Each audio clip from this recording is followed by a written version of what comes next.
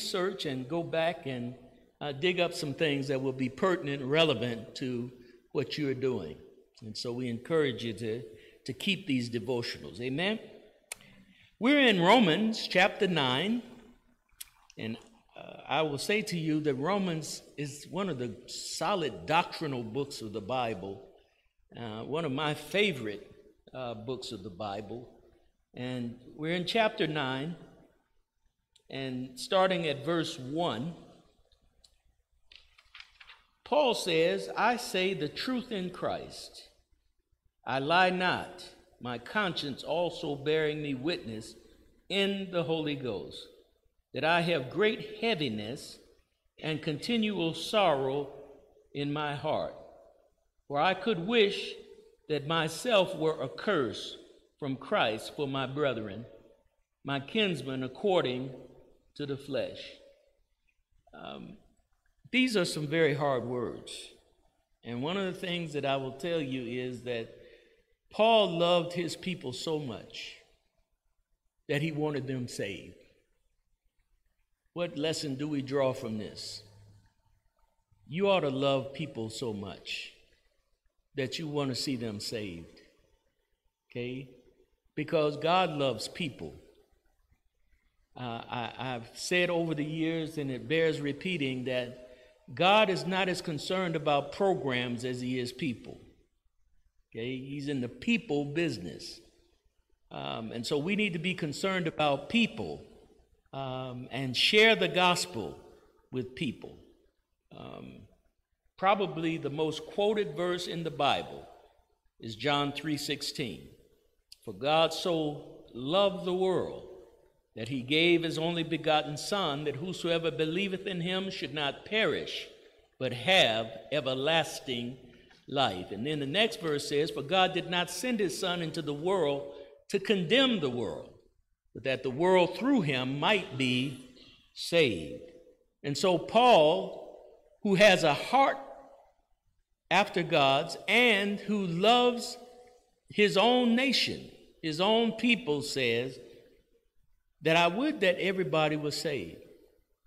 He also says, if I could give up my salvation for the salvation of all of my kinsmen, he said, I would rather do that. Now, I'm going to tell you something. Uh, I love people. I ain't giving up my salvation for nobody. Okay, because I don't want to spend one moment in hell. Okay, uh, brother, sister, I love you. I'm trying to tell you as best I can that you need to be born again. You need to accept the Lord Jesus Christ as your personal Savior. But Jesus died in our place. And since He did it, my dying in your place is not going to help. Okay? So He gave His sacrifice once and for all and it is so great until it can satisfy even the worst sinner. So Paul says, look at this again. He says, I have great heaviness and continual sorrow in my heart, for I could wish that myself were accursed from Christ for my brethren, my kinsmen, according to the flesh. Now, I'll tell you, that's some great love right there, right? Uh, he was so distressed that he wanted his people to be saved. I think that, um, you know, if you come to worship um, in a church, come to Sunday school, come to Bible class, in worship experiences, witnessing to people, studying your word, you understand and you have an appreciation that God loves people. And if God loves people, then you ought to love people. And here's the thing you may not love what people do, but you still ought to love people, right? Um, some people have actions that are not in concert with Scripture, but it doesn't mean that God has given up on them. Praise God. And I'm glad that God didn't give up on me, right? I'm glad that he looked beyond my faults and saw every one of my needs. Um, and so that's the heart and that's the prayer we ought to have for everybody that we come in contact that we want them to be saved. Amen. Verse 4 he says, "Who are Israelites?" Paul was an Israelite. Some of you all may know that Paul had dual citizenship, right? He was a Roman, but he was also an Israelite. Okay? Um, to whose uh, pertaineth the adoption and the glory and the covenants and the giving of the law and the service of God and the promises, whose are the fathers and of whom are concerning the flesh Christ came, who is over all, God blessed forever. Amen. So here, listen to what Paul says that God has given his people. Okay? They were Israelites. First of all, Israel was God's chosen people.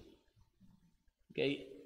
Somebody may ask the question, well, why was Israel God's chosen people? And the answer is simply this He had to start with somebody. If it started with you, some other people might ask the question, why? But he had to start with somebody. And he picked Israel to be his people so that they could mirror to the rest of the world what it looked like to be a follower of him. They had a great assignment to show other people. And I will tell you that uh, during that time in the Old Testament, most people were polytheistic. Poly means many, theistic gods. They serve multiple gods. You know, when you talk about the Egyptians, we know that they served multiple gods. Um, one of the reasons why God had to send 10 plagues upon Egypt is because whenever he would send a plague, it was to mock one of the gods of the Egyptians. Pharaoh, when a plague would come, he would go to one of his gods to try to uh, erase or to under, undo what God had sent. And when his gods failed to be able to do it, God proved that he was greater than the gods of the Egyptians. Right? All of the other people around the Israelites had multiple gods. When you talk about um, the Greeks, uh, we get mythology, Greek mythology. Um, they had a pantheon of gods. The Romans were borrowers and they borrowed the gods of the Greeks. That's why, if you've ever studied mythology, you'll find that gods had two different names. They had Greek names, but they also had Roman names. You know, you know some of them. You know, Zeus was the was the father of the gods, right? Aphrodite, you know, uh, Diana, um, Neptune, Pluto, all of these various gods were over in the minds of the Greeks and the Romans different parts of nature. Um, and they would actually pray to the gods uh, for power, for deliverance, for uh, crops. So the Israelites were not polytheistic, they were monotheistic.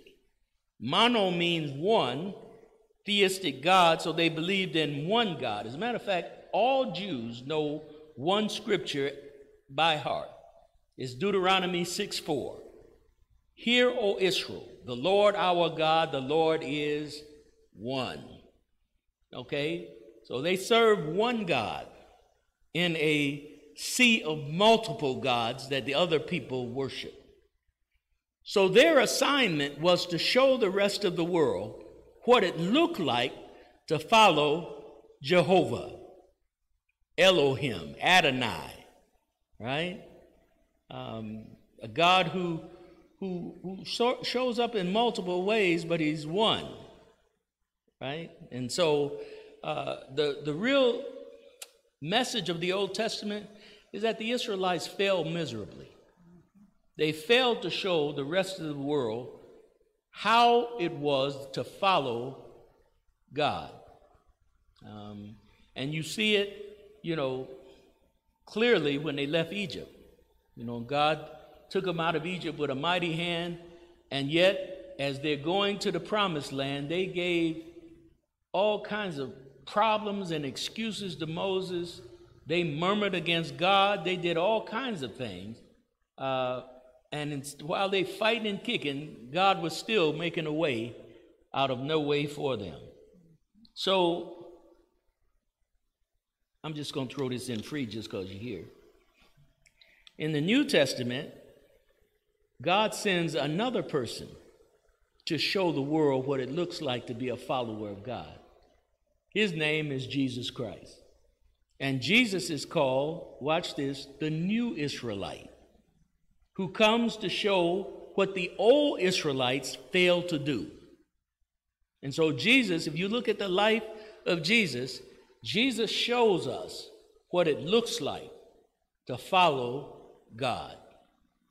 And whenever Jesus, you always hear him, before a miracle was ever wrought, he'd always pray to his Father. He would tell us, you know, I didn't come to do my will, but I came to do the will of him who sent me.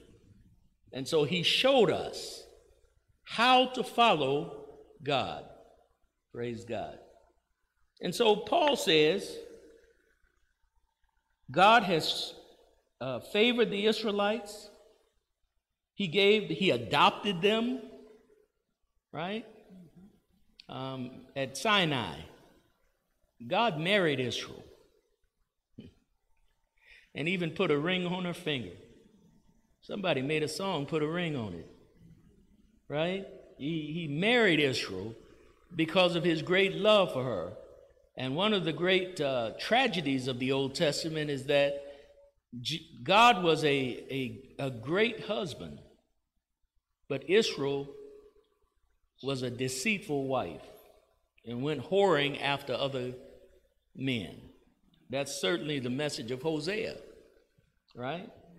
Um, the book of Hosea really shows how good God is and how um, wayward Israel was. Okay, so he's given, he adopted them. And by the way, if you're saved, the Lord has adopted you. Now, if you know anything about adoption, uh, when you are adopted by a family, you lose all rights and privileges of your previous family, but you gain all rights and privileges of your adopting family. And if God adopts you, I got some good news for you that uh, everything that God has is yours. We become heirs of God and joint heirs with Jesus Christ. And uh, it is no secret what God will do, what He's done for others, He'll do the same thing for you. It's a great thing to be adopted into the family of faith. Amen? Amen. So they were adopted, they had glory right? Um, think of how many times God showed himself strong uh, before other people through the Israelites. Um, you remember when the Israelites were fighting the Philistines, and they had a champion named Goliath. You all remember that story very well. And God raised up David, a little boy, to go out and fight the giant. And God showed himself strong because the Bible says that uh, David just took some stones and with a slingshot hurled the stone toward the giant, and the Bible says the Holy Spirit guided that stone to that giant's head. And after he oops upside his head, he fell down where David could handle him. And David took the giant's sword and cut his head clean off his neck. And when they got back to Israel, they had a ticker tape parade. And the women of the city said that Saul has killed his thousands, but David his ten thousands. So God had shown himself strong multiple times in the Old Testament through the nation of Israel. Matter of fact, when they would when they would fight, God would go before them to win the victory. Praise God. So he had shown himself strong, they had glory, they had the covenants. What is a covenant? A covenant is agreement, right? And and usually a covenant is agreement between two or more parties, right? Well, whenever God made a covenant, he always kept his side of the bargain. The problem was that people didn't keep their side of the bargain. And so there were different kinds of covenants. And I'm going to tell you at least a couple of covenants. There, uh, there were covenants that were contingent upon what Israel did. So we call them if then covenants. So, you know, God would say, if you do this, I'll do so and so, right?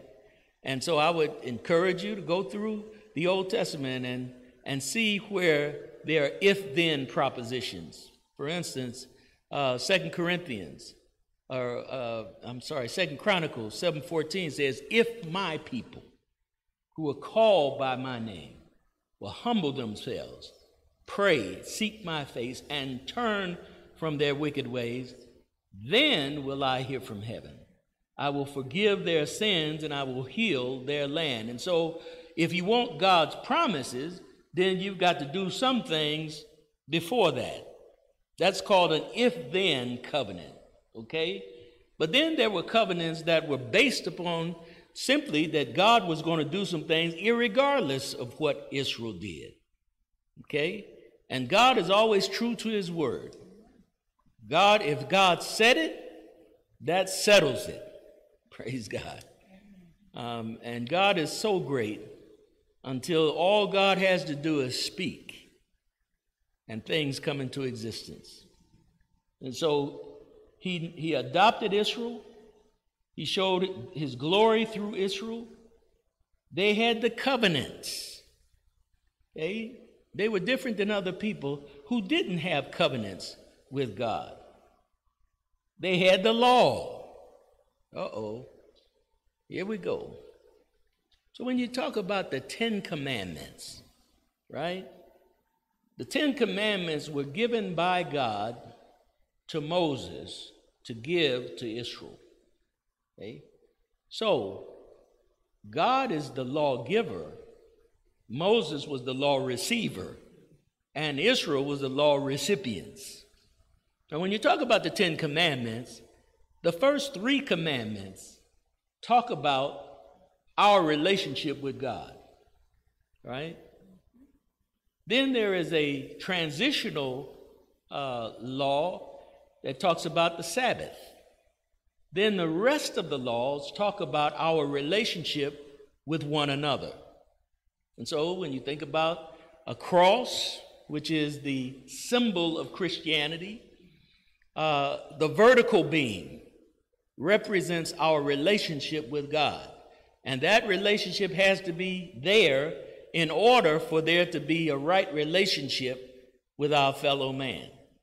So, really, the cross is the embodiment of the Ten Commandments, right? Well, Jesus was asked in the New Testament, What are the two greatest commandments? He said, The first is love the Lord your God with all your heart, with all your soul, mind, and body. The second is like unto the first, that you love your neighbor as yourself. Those two commandments sum up the Ten Commandments love of God, love of neighbor. Guess what? Nobody was able to keep the law except one. Jesus comes to, to do what nobody else could do. And Jesus comes to do what the law couldn't do. Because here's what the law could do the law showed you the righteousness of God, but it also so showed you the wretchedness of humanity. Okay? Why the wretchedness of humanity? Because humanity couldn't reach the standard of a holy God. And so, if you're trying to live by the law, you're living de- a defeated life because you can't keep it. So, what did Jesus do? Jesus came to die in our place. So when you see him hanging on the cross, he is our substitute. He is our go between, right?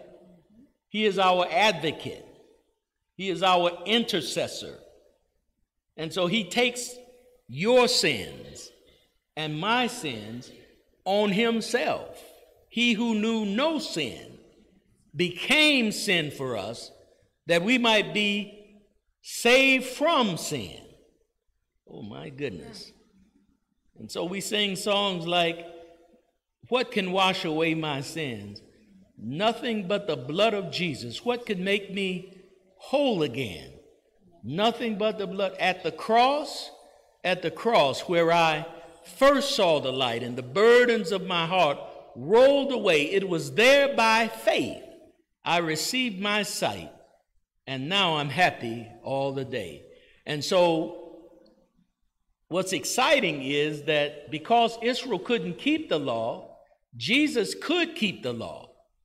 Now, the Bible says, if any man be in Christ, he is a new creation. Old things are passed away. Behold, all things are become new. In other words, I become a law keeper not because of me keeping the law, but because I've been adopted into the family of faith.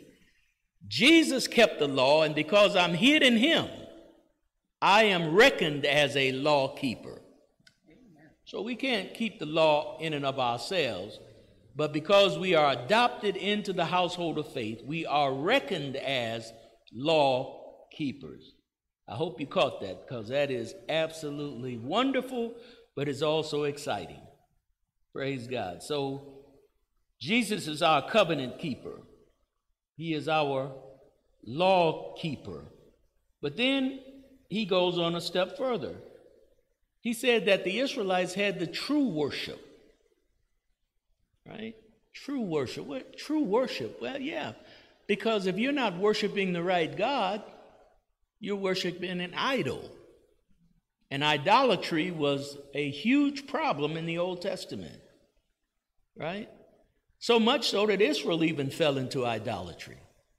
And when they fell into idolatry, well, let me just say it like this if you want to make God angry, put an idol in front of him. Okay? Now, Israel did that, and I'll tell you what happened. Uh, when the northern kingdom fell into idolatry, God allowed the Assyrians to come and almost annihilate the northern kingdom. That was in 721 BC. Then, when the southern kingdom, Judah, or the house of David, when they fell into idolatry, God raised up Nebuchadnezzar and the Babylonians. And in 586 BC, they came from the north and took Israel into captivity. Captivity would last 70 years because of their idolatrous ways. Because be not deceived, God is not mocked. For whatsoever man soweth, that shall he also reap. God does not look favorably on idolatry. Okay? But Israel had the true worship. All they had to do was follow God and obey his commandments, and God would do great things for her. Got some good news for you today.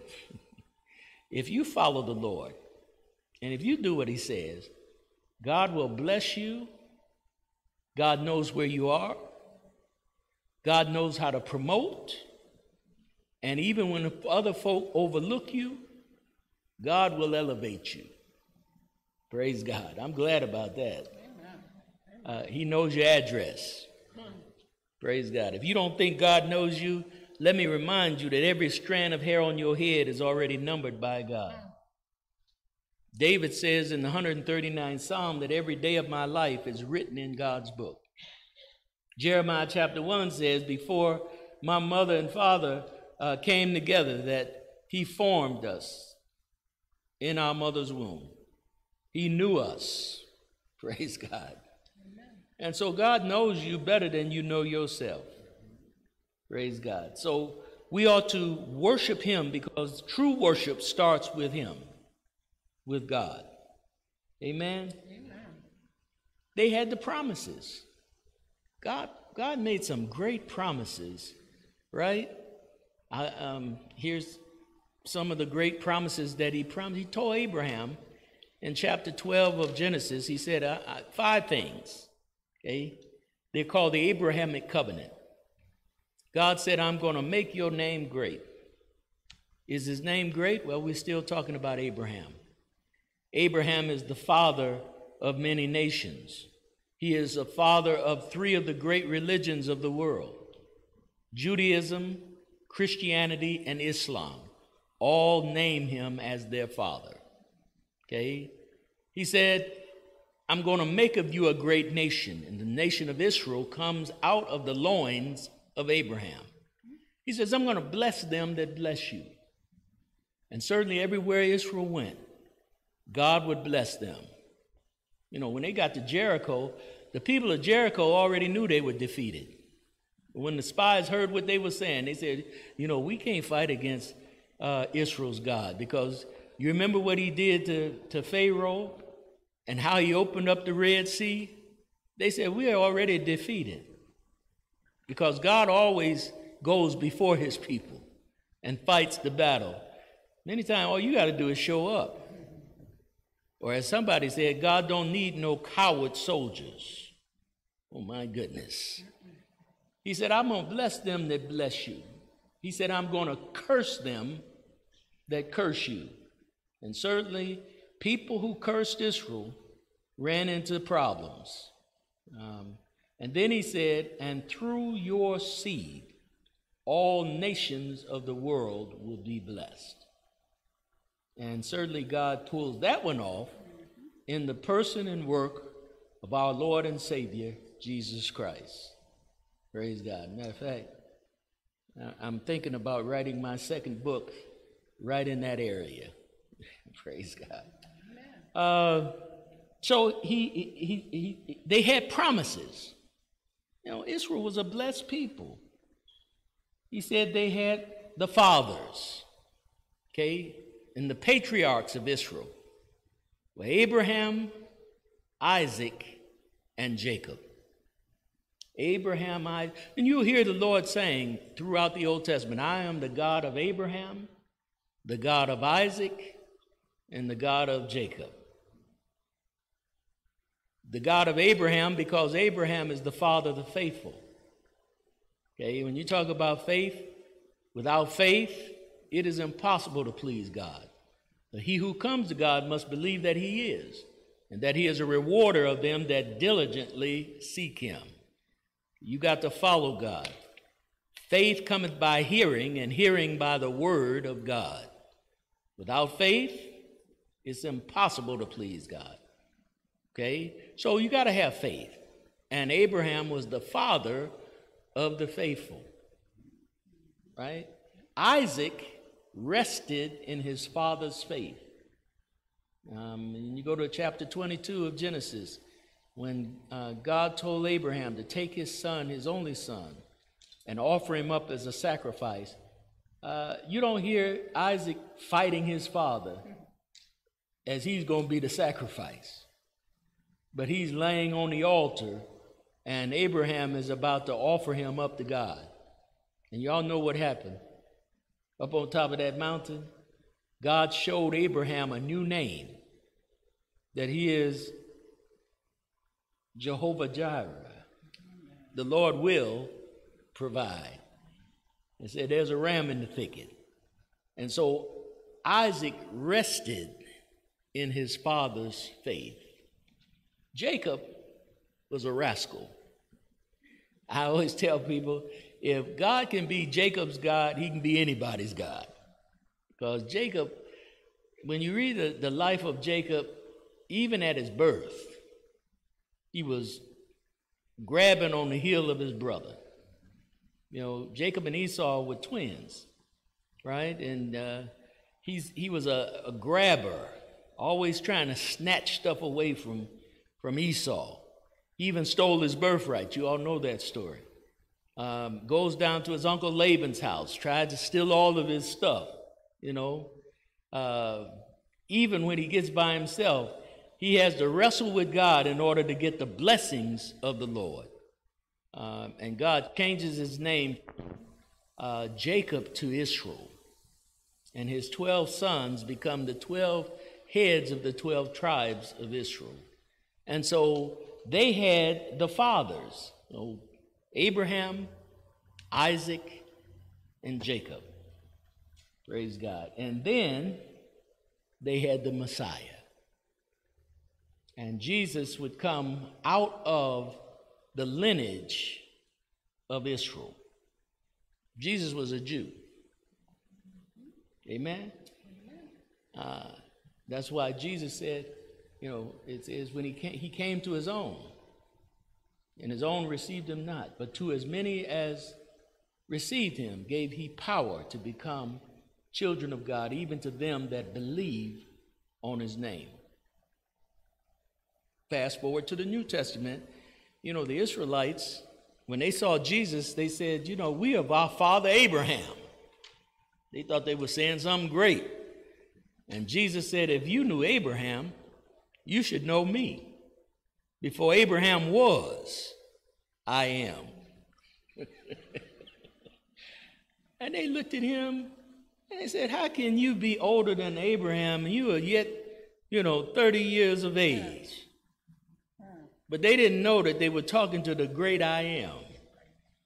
Jesus is, he, he, he is uh, before time, he's after time, he's above time, he's below time. If you wait on him, he's always on time, even when he seemed late. Like at the graveside of Lazarus, he shows up, he's on time because he don't wear Seikos. Hallelujah. And he don't wear Timexes. But when he shows up, he shows up on time. Somebody said, weeping may endure for a night. Joy come in the morning. So if you're going through a night of pain, of suffering, trials, hold on. Because morning is coming. And joy comes in the morning. Oh my goodness. So, so all of these things Paul lays out just in these few verses all of the blessings that God had given Israel. And in spite of everything that God did for Israel, they turned their back on God. And so, Paul, in these first three or four verses, is saying to them, I would that you're saved. I, I want you to be saved. If I could give my salvation up, I'd give it up for you. And God has given you so much that you should be saved. And you have uh, turned your back on God. You know, if there is one message that we know is true today, God has been good to everybody. And yet, there are a lot of people today who are just like the Israelites. In spite of all of the blessings that God has given, folk are still turning their back on God.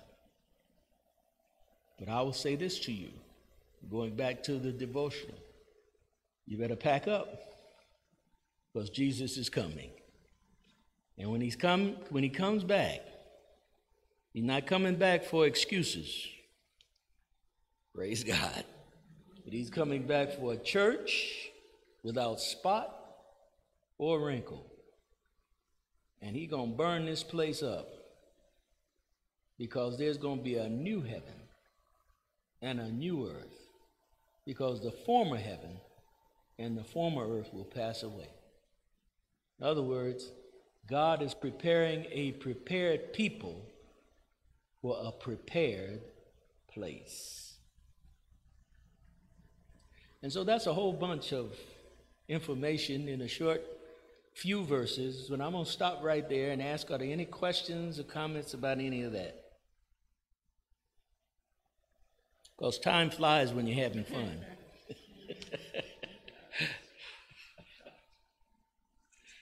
Anybody got any questions or comments?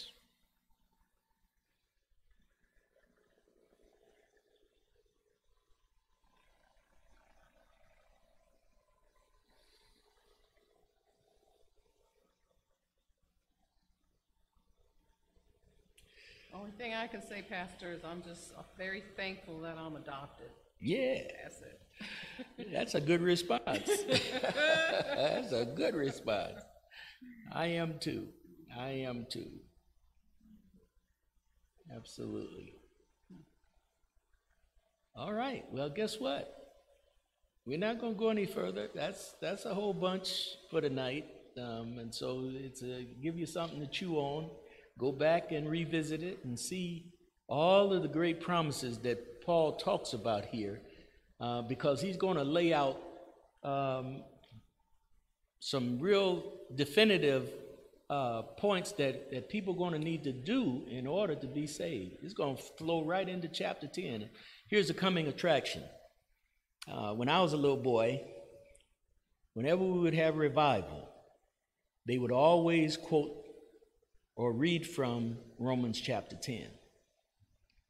And it made such an impact on me until I can almost quote the 10th chapter of, Genesis, of, of uh, Romans. Because it would start out by saying, Brethren, my heart's desire and prayer to God for Israel is that they might be saved. For I bear them record that they have a zeal of God, but not according to knowledge. For they, being ignorant of God's righteousness and going about to establish their own righteousness, have not submitted themselves unto the righteousness of God. So you you hear already the same kinds of things that he starts out in chapter 9, he's going to reiterate in chapter 10. So let's continue to read in chapter 9. We'll pick up at verse 5 uh, next week. I, uh, I've, I've, talked to leadership, and we're going to be here again next week. So uh, I'll be with you, and uh, uh, we'll go a little further. Amen. And I want to tell you I love you. you know, I'm praying for you. I, I believe God is going to do some extraordinary things in your life if you just continue to hold on to God's unchanging hand. Praise God. Anybody have any closing prayer requests as we get ready to bring closure to tonight?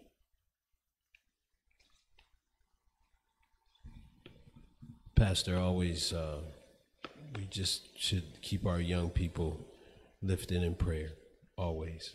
Yeah. Praise God. Anybody else? Uh, I would pray for safe travel for your wife. Yeah. Praise God. She's, yeah. I've had multiple conversations with her today, and she's doing she's doing good. And so, yeah, we are praying for her uh, safety and uh, that she'll continue to do what uh, she needs to do. Amen. Um, and again, we need to pray for certainly the leadership of this country, um, especially in this election.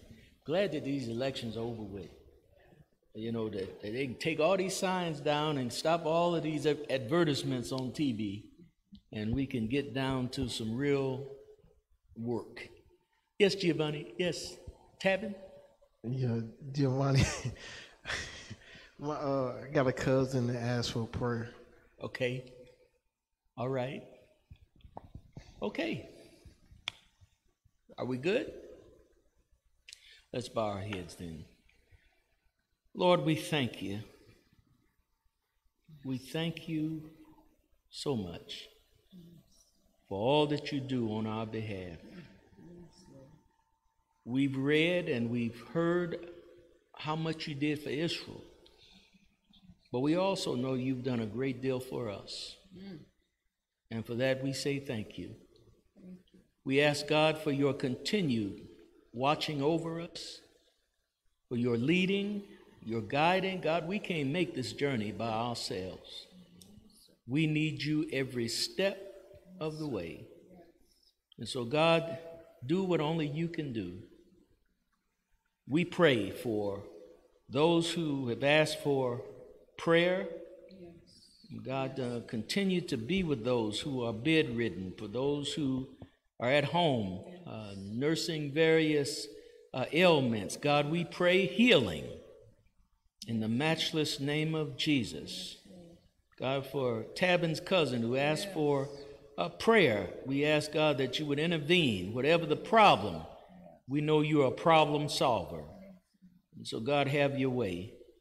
We pray for uh, our school kids, uh, for uh, teachers, faculty members, God, for administrators.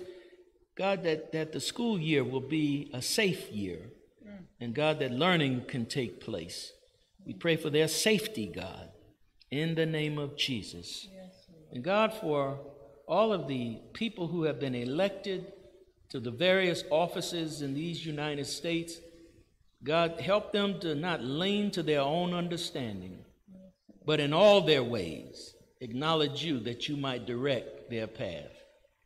And God, for that and so much more, we say thank you. Thank you, thank you, thank you. In the matchless name of Jesus, we pray. Amen. Amen. Thank you for joining us on tonight. Come back and see us on next week when we will again go to God's Word. God bless you and may heaven smile upon you, is our prayer.